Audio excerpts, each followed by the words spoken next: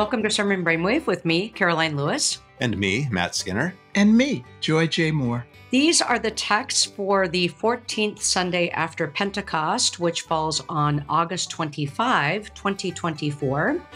Our first reading is Joshua 24, 1 through 2a, and then 14 through 18. The semi continuous Old Testament reading is 1 Kings chapter 8. And you can do 1, 6, 10 through 11, or just 22 to 30, 41 to 43. We continue our reading through Psalm 34, 15 through 22. And we have our last reading from Ephesians chapter 6, 10 through 20. And our last reading of the Bread of Life Discourse, sections of the Bread of Life Discourse, John 6, 56 through 69. And all the preachers said, Hallelujah. You've stuck with the bread of life this whole summer. All Yay. five. You've made it. Congratulations. Suggest, yes, congratulations. I am going to suggest that you add 70 and 71 uh, because why not? As I've said before, but I get why they uh, why the lectionary drops that off because ending on we have come to believe and know that you are the holy one of god is most certainly a high note that's for sure uh, and the reference to judas in 71 is not the place one would want to end but it's probably truer to well they're there and uh, truer to the the challenges and the and the resistances to what Jesus is offering. And it really embodies one of those resistances. And so the pericope here as you note backtracks to 56 so it goes back a few verses because again we're just building building building. But uh, the 51 to 58, of course, were these uh, verses about eating my flesh and drinking my blood. And then, uh, and then verse 60, when many of his disciples heard it, they said, This teaching is difficult. Who can accept it? And I mentioned last week that, you know, the question is which teaching is difficult? Uh, and that's, I think that's kind of ambiguous here in that Jesus has been doing a lot of teaching for the last few verses. Doesn't mean directly um, what was said before, but what part of was what was said before. And I said last week too that the you know the the flesh and the you have these words of of how can this man give us his flesh to eat, but that really high point of the of the discourse those who eat my uh, eat my flesh and drink my blood, abide in me and I in them. Is that the difficulty?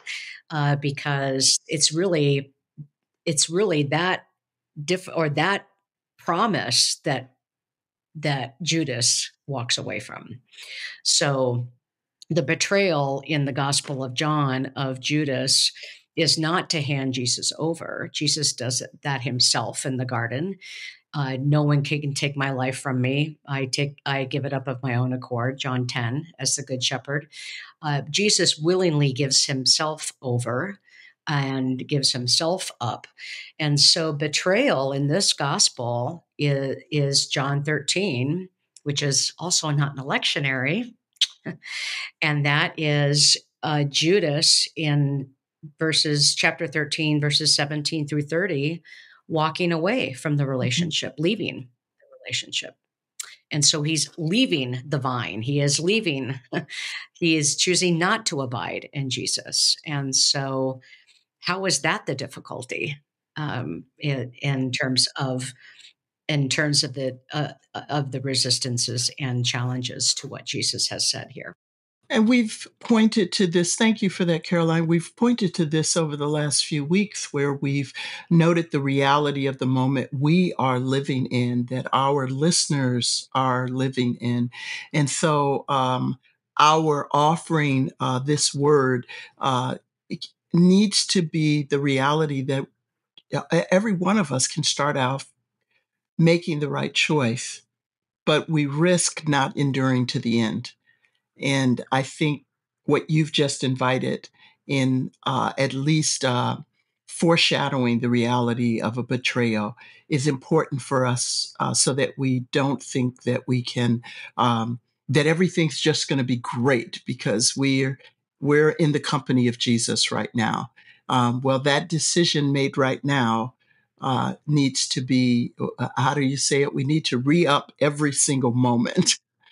Uh, so and and we'll talk about that a little bit when we get to ephesians today so I see this passage as, um, and sorry to always compare everything to the synoptics, you know, it's just kind of what I am.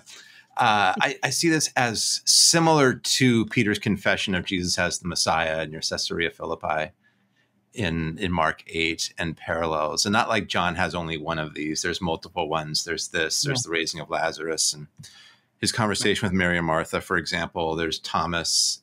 Um, I'm sure there's more but it's kind of this moment where Jesus says, kind of lays it out. This is what it's going to look like. This is what I'm about. A lot of people don't like it. And Peter, intentionally, by accident, whatever, just comes through with the right thing to say at mm-hmm. this given moment. And so I think to, to help people see that, that in a, in a way, what this Bread of Life discourse has done is not just spin a bunch of mysteries, but makes a statement finally in, well, not just verse 62, but around there, of this is who I am. Mm-hmm. And, you know, it might not be the the the kind of leader you want. I mean, remember they wanted to make him king by force right, right. early on in chapter six.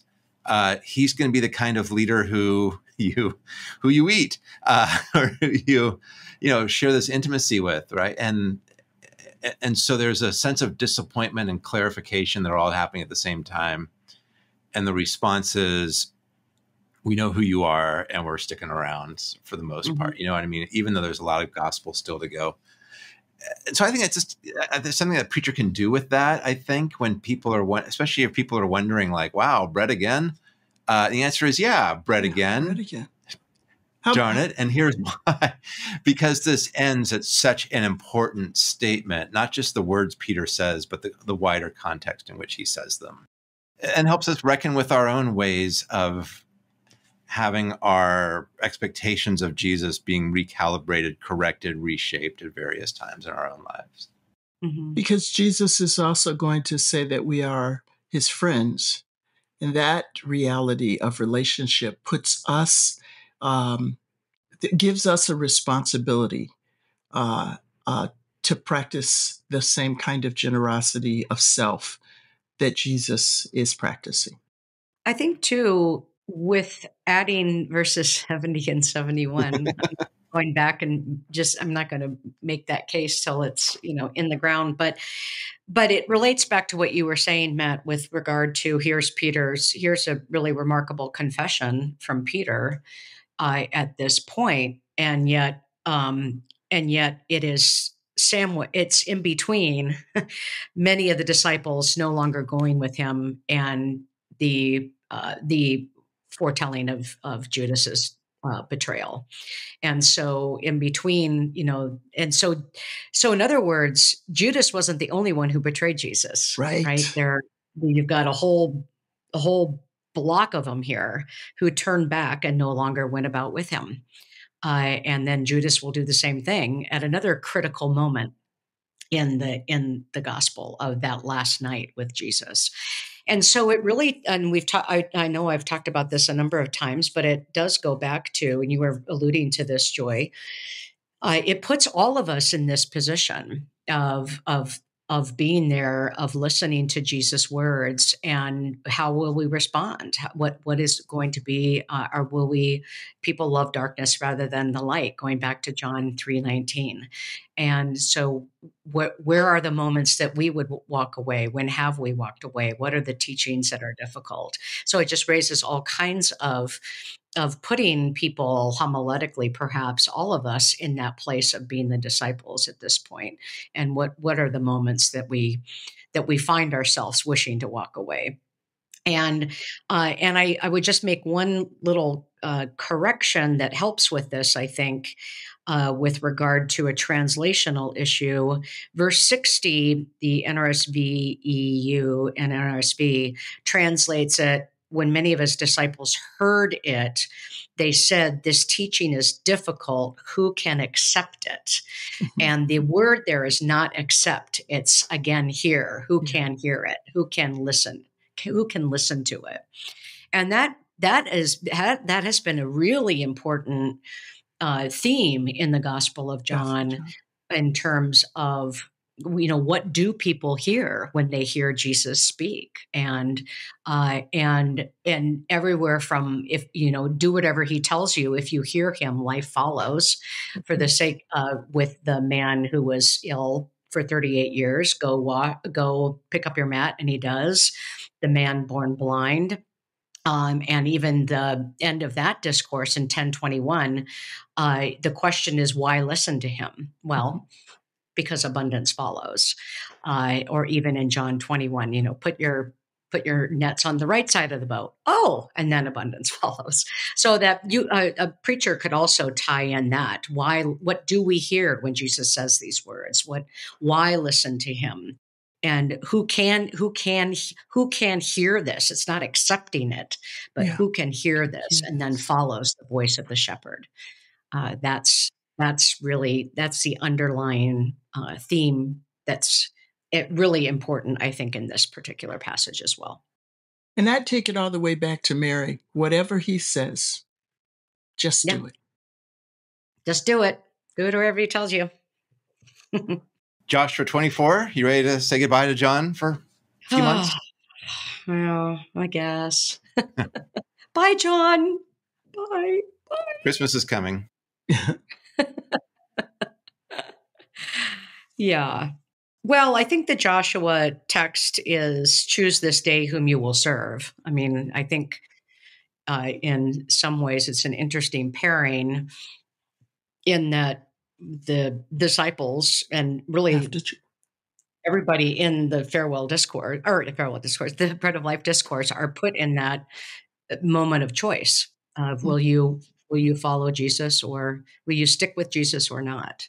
Um, so I think I that's what I'm assuming is the, rationale behind the John. Mm-hmm. You might have some other connections that I didn't see. There's also, uh, you know, in adding uh, verse uh, that you did with John, where we, where we add verse uh, 70 and um, uh, 71, uh, there's also this recognition of this is the transition. This is the end of jo- Joshua. This is Joshua laying before them what has been and saying, okay, get ready for what's going to come next. And there's a consistency um, not everybody was able to hear that word of Jesus to be ready for what was coming next. And there's another similarity that can be made if we pay attention to that larger uh, uh, narrative of what happened with the people of Israel when they followed the words of Joshua, uh, who was following the words of God, and when they did not. I'm holding on to your hearing, who can hear this. yeah, yeah. I, I just did want to point out, um, yeah, I mean, it is kind of this. Why would we want to serve another god? You know, given who you are. I, I would just point out what's probably obvious to a lot of preachers is uh, the final verses here are difficult to hear given the events of the last year and, and any any text about land and about conquest. Yeah, is um, is tough because people hear things and they often kind of make easy equivalencies to contemporary problems and a preacher's response, I think, is to acknowledge that, but also to acknowledge how issues of land and promise are way more complicated than a single sermon is going to be able to encapsulate. So just to kind of note that, but mm-hmm. Um, mm-hmm. This is a tough text to discover on a Monday morning that you're going to have to like say something about mm-hmm. uh, on Sunday. Uh, mm-hmm. I appreciate yeah. that, Matt, Matt, because if if we don't recognize that this is tough, that this should not be read lightly, um, we can miss what's behind the text. The readings of Joshua and the readings of Judges are very different because in Joshua, there is this level of the difference between when the people were obedient And God did what was necessary to give them the land. And when the people took the attitude of victory and did it themselves, and that's the way we read the text today, is we want to celebrate what God has done and do it ourselves. And if um, you pay attention to the difference between what's happening in Joshua and what's happening in Judges, um, and and I'm saying this because this is a scary thing to realize on Monday morning. Oh my goodness, I need Joshua. I need Joshua in context. And so we spent a lot of time putting the um, uh, the bread of life discourse in context. We need to read these texts about taking the land in context. And so when you read through the book of Judges, that's where all of Judges, after Judges chapter one, all of Judges is after the Spirit of the Lord or the angel of the Lord has come and said, You guys didn't do what I asked you to do. I'm not on your side here. That's a different way of following what we have in this verse right here in Joshua, where it is you choose. Are you going to follow the Lord? That's what I'm going to do or not. And when the people choose not to follow the Lord, they try to imitate what God has promised. And that is, we steal the land from someone else. That's not something we can do if it's Friday night when you're listening to this podcast and you got a couple of hours to write a, a sermon uh, it, to really be faithful to Joshua. Don't listen on Friday. No. we are. If we it's are. Friday. Hello, everybody. Hello, everybody. If it's Friday, kind of don't do Joshua. unless you started reading it three years ago. Hey, if we were a Friday afternoon podcast, we'd have a lot better ideas, don't you think? Probably. We're yeah. kind of a Monday of morning. Hey, maybe it's yeah, this. yeah. This is hard. the Psalm. There it is. More Psalm 34. Uh, I just, I mean, I think you can, again, once again, you can pick out some of the language here of depending on, depending on which direction your sermon is uh, going you know the lord redeems the life of of the lord's servants none of those who take refuge in the lord will be condemned. There's refuge and and why you know why choose the lord? Because this is this is because the lord listens to you and uh, so that's the way i would use the psalm. I think that you know the the uh, joshua's the end of a very long story uh, in the mm-hmm. in the hexateuch there and it's it, it's it is ref- i mean the, the perspective at least is refuge uh, John 6, there's a sense of, of refuge there as well. And uh, Jim Mead even points out in the commentary on this psalm, mm-hmm. you're going to have conflict in Ephesians 6 as well. And so some of that, that language of protection for vulnerable or imperiled people mm-hmm. is, uh, that's what the Psalms are so, that's when the Psalms are at their best. Yes. Yeah. Yes. Yeah. And to bring on my my my continuity is uh, to turn uh, uh, I'm paying attention to verse 21 to remember that evil, even when it's done by people who claim they are doing in the name of God, evil brings death to the wicked, and those who hate the righteous will be condemned. The consequences that we've seen back in the life of David, that we've seen throughout the unfaithfulness of the people of God, that we see even today, evil, even when it's done in the name of God, brings death and um, it, it it is God who is the source of our refuge, and uh, I just want to be aware of that reality in you know as we as we preach in the 21st century moment that we live in. All right, First Kings got Solomon temple. Temple's been built. We should probably note that. a little, a little something's happening happened in the in the interim here. Happened before we got to chapter eight. Oh yeah, we built the temple. Uh, and so what we get, of course, in these in these verses is the uh, is the dedication of the temple, the procession of the ark, the dedication, uh, and then feasting around. But we don't get that part in the in the lectionary, but lectionary, a big feast dedicating the temple. So that's uh, but the temple has already happened. Just to yeah, it's it's worth noting that you know from the beginning of the story of the temple, there's an acknowledgement that the temple itself can't contain God's glory, which yes puts a damper on some Christian mischaracterization of first century Judaism in Jesus's day.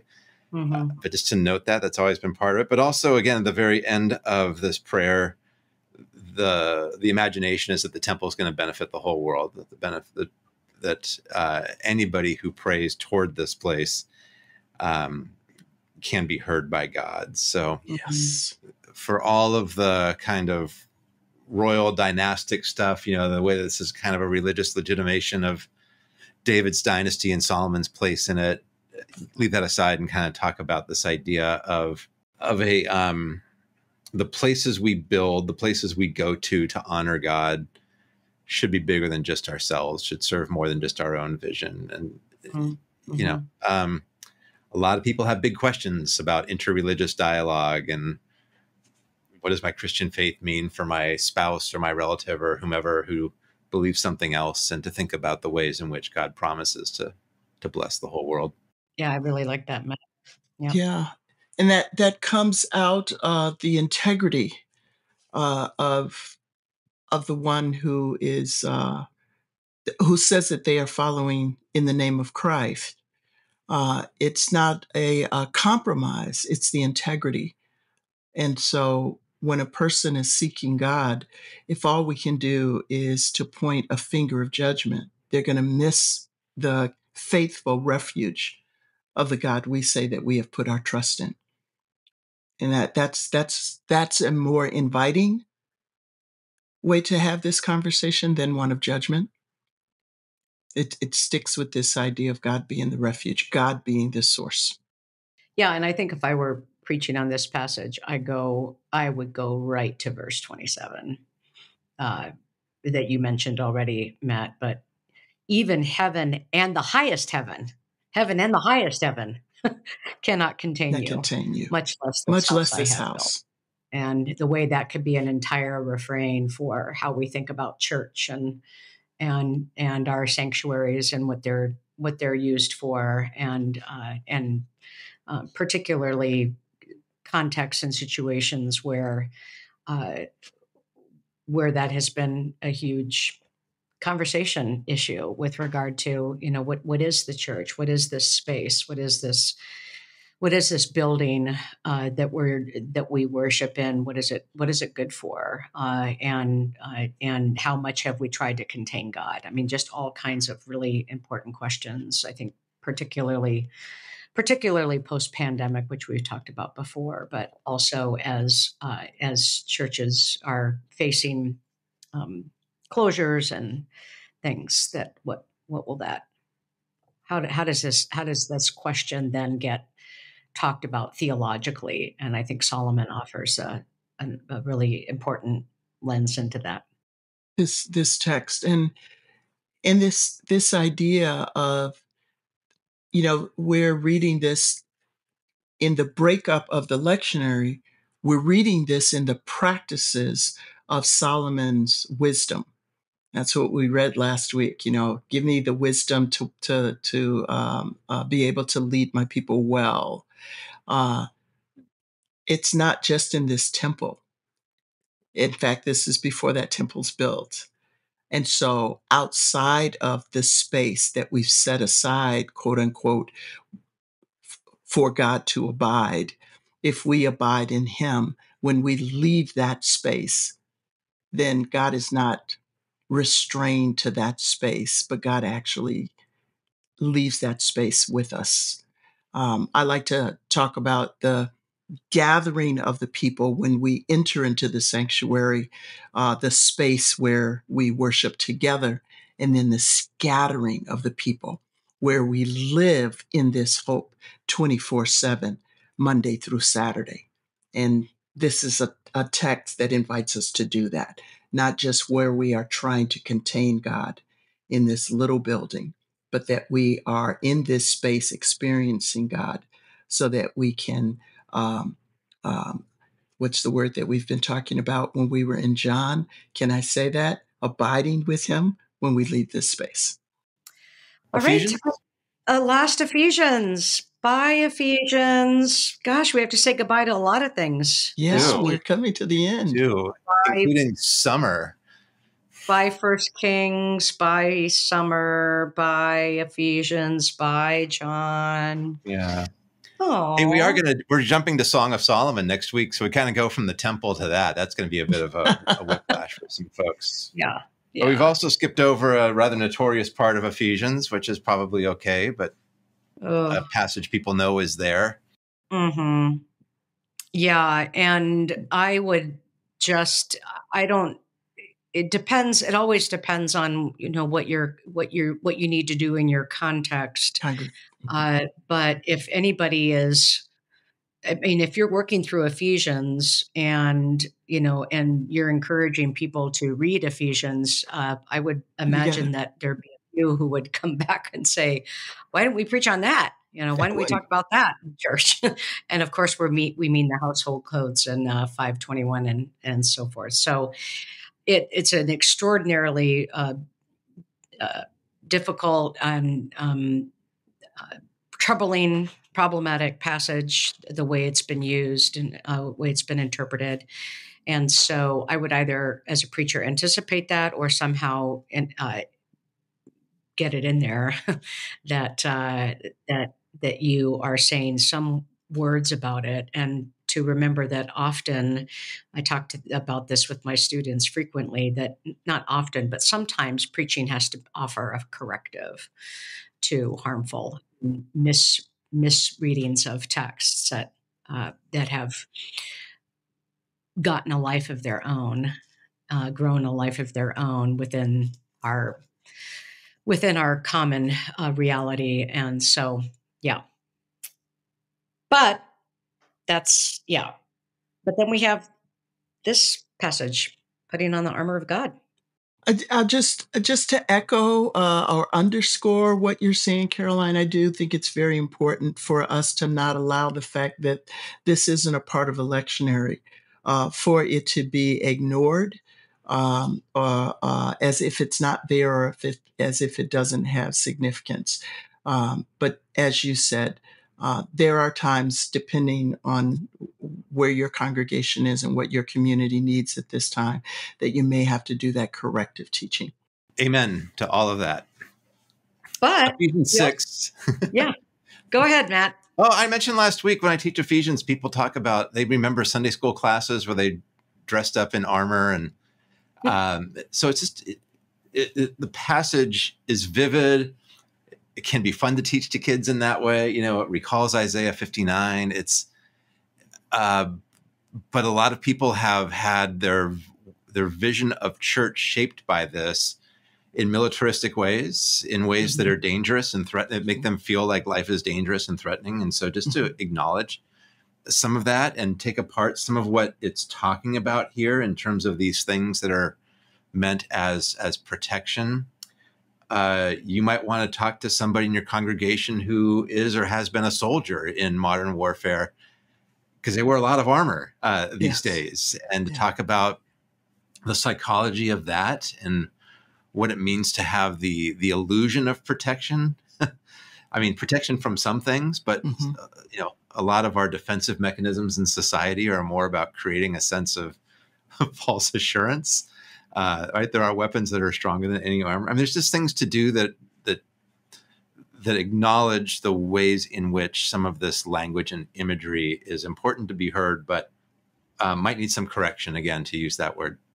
hmm hmm So often, in the corrective nature of this, so often when we read this, we spend, or I, I know in ways that I've been taught it, uh, I, I remember we were focusing so much on the metaphor that we actually paid attention to the armor as opposed to what the context of this, which simply is be strong in the Lord and in the strength of God's power. And when you start with that context to make it back about our strength is in the Lord, you begin to read almost the absurdity that, you know, a sword being the word, you know, um, our, our, our, uh, what's protecting our feet is peace. Th- th- There's actually, this is counterintuitive. So, uh, Matt, when you were saying about to talk to a soldier and look at what uh, that illusion of protection is, we have made this too much of an illustration um, where we've picking, picked up the might of the metaphor and not picked up the trust. uh, the complete reliance and uh, dependence on God. And and and I would uh, invite our, our preachers to play with that idea, uh, flipping this uh, very militaristic idea uh, to a confidence that truly is trusting in God. That that maybe that maybe maybe our retired military can hear while also uh, having pacifists in the audience. And I, I would say the the trust, but also the the entirety. I mean, I think that's that's the or the the full coverage yes. of of the power of God that we that we have. Uh, because you get, I think it's so interesting that you have you know basically it's narrated as as a soldier would put on each piece mm-hmm. of this armor yes. and nothing is left uh, exposed and so you you start with the you know or belt around your waist breastplate shoes uh, the shield and then um, the helmet right? And so uh, and so there's there's an entirety of it right that uh, that also i think is communicated in the in the metaphor in the imagery that also might uh, ring with good news for the listener Sermon Brainwave is a production of Luther Seminary's Working Preacher. Working Preacher has been a trusted source of inspiration, interpretation, and imagination for preachers worldwide since 2007. Find episodes and links at workingpreacher.org/slash brainwave. And be sure to rate, subscribe, and comment on YouTube. Thanks for joining us.